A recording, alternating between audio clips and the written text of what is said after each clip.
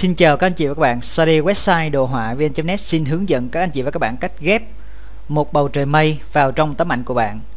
Thì như các bạn thấy tấm ảnh này chụp vào trong điều kiện thời tiết không đẹp cho nên trời không có mây và bầu trời bị xám trắng khi chúng ta đo sáng vào chủ thể. À, và nếu trong điều kiện này thì tấm hình sẽ không đẹp nếu như không có mây, vì vậy chúng ta cần ghép mây vào. Và đây là tấm hình trước khi xử lý và sau khi xử lý chúng ta có được kết quả như thế này. À, thì để ghép được bầu trời mây chúng ta cần có tư liệu là một tấm hình có mây. Và tư liệu này có xe nhiều trên uh, trên mạng và các bạn thể có thể vào google.com để search hoặc là sử dụng dịch vụ hình chất lượng cao của website đồ họa vi.net bây giờ chúng ta trở lại bài tập. Bây giờ đầu tiên chúng ta cần mở tấm hình mây ra trong Photoshop. À, chúng ta có tấm hình đây thì bây giờ các bạn cần copy tấm hình này sang cái lay cái tấm hình à, cái layer có hai cô gái. Thì bây giờ các bạn vào uh, select chọn on để chọn hết và vào edit chọn copy. Sau đó các bạn chuyển qua cái tấm hình của hai cô gái này và vào edit chọn paste để dán cái bầu trời mây vào trong tấm hình này.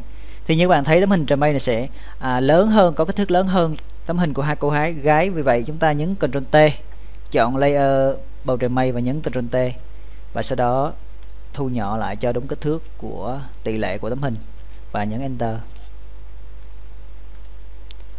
Ok bây giờ tấm hình trong bay nó đã vừa với layer này thì bây giờ chúng ta giảm độ mờ đục để kiểm tra. Bây giờ chúng ta cần khử cái vùng màu trắng trên cái layer của hai cô gái này. À, để làm điều đó chúng ta nhân đôi layer background này bằng cách nhấn phím Ctrl D hoặc là nhấp chuột phải chọn duplicate layer và kéo nó nằm phía trên layer mây. Bây giờ các bạn mở con mắt của layer mây lại. Tăng opacity lên 100% bây giờ chọn layer phía trên. Các bạn có thể nhấp đúp chuột vào layer này hoặc là vào nút FX chọn blending option để mở bản lệnh blending option. Và để khử vùng màu trắng này trên cái thanh blend X, vùng chuyển sắc từ đen đến trắng, các bạn rê tam giác này sang phía bên trái thì các bạn sẽ thấy nó khử được cái vùng màu trắng trên tấm hình. Nhưng ở đây có một vấn đề là cái vùng chuyển tiếp nó không có đều nó không có mịn màng. À, để tôi phóng lớn tấm hình này ra thì chúng ta sẽ dễ dễ quan sát hơn. Mà bây giờ các bạn mở bảng Blend Option ra. Và các bạn có thể thấy là bây giờ chúng ta thử kéo qua thì các bạn có thể thấy cái vùng tóc của hai cô gái này nó sẽ chuyển tiếp không đều vì vậy nhìn nó sẽ bị giả đi. À, để cho cái vùng chuyển tiếp nó mịn màng thì bây giờ các bạn nhấn phím Alt phím ALT nằm bên cạnh phím Space và nhấp chuột vào một phần tam giác phía bên trái và tách nó ra và kéo kéo sang trái thì các bạn sẽ thấy cái vùng tóc các bạn chú ý nhìn cái vùng tóc nó sẽ điều hòa mịn màng hơn. Đó, các bạn có thể thấy nó sẽ mịn màng hơn. Ok. Thì như vậy các bạn có thể kéo làm sao kéo điều chỉnh hai cái thanh này làm sao để cho nhìn cái vùng chuyển tiếp nó đều. Ok như tôi như thế này tôi thấy là đều rồi. Thì bây giờ tôi nhấp phím à, nút ok và có một vấn đề ở đây là khi mà chúng ta kéo được cái vùng tóc thì cái vùng da mặt và cái vùng áo nó sẽ bị mất đi. Và do đó cái layer mây nó sẽ hiện ra phía trên.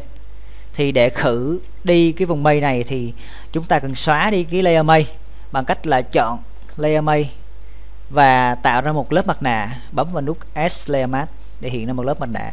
Và bây giờ để che đi cái phần này thì chúng ta chọn màu nền trước là màu đen. Ok, chọn màu đen sau đó các bạn chọn công cụ brush nhấn phím B chọn công cụ brush và bây giờ các bạn phóng lớn tấm hình lên.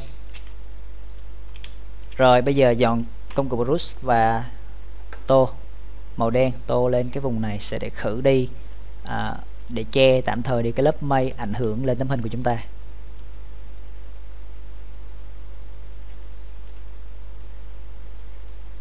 Ok.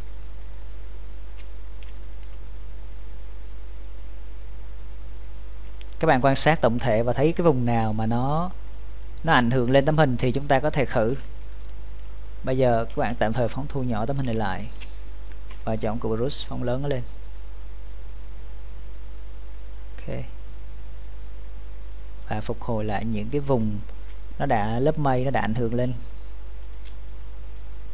Ok. Ok, như vậy là về các bạn chúng ta đã phục hồi lại được tấm hình. Và để xem chi tiết hơn có thật hơn thì các bạn phóng lớn các cái vùng lá cây. À các bạn có thể quan sát cái vùng lá cây này. Đây. Rất là tốt như vậy là chúng ta có thể tách lên như vậy là đạt tiêu chuẩn.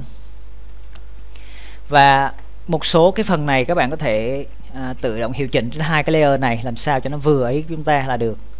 Đây là cái layer đây là tác phẩm hoàn thành của chúng ta với bài tập này à, các bạn có thể ứng dụng được nhiều cho tấm hình ảnh của bạn và tấm ảnh của bạn sẽ đẹp hơn.